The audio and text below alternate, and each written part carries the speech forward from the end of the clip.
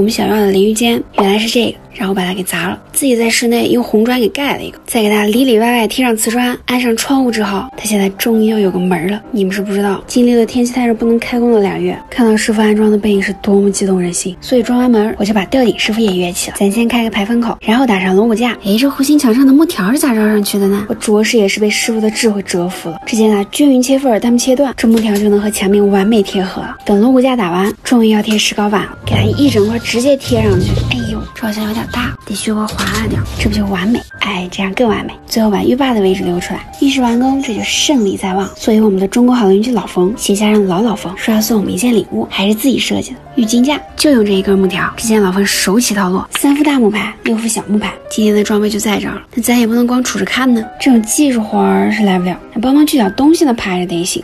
哎呦，你这你这你是狗啃的吗？这个是怎么如此不专业呢？来，谢谢来。看看，就是天赋异禀。